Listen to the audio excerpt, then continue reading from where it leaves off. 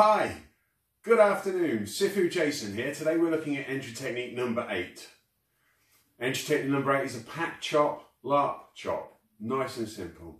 So in we Wusal forward, we have our pack, chop, lap, chop. One more time. It's a pack, chop, lap, chop. We do this from the side here.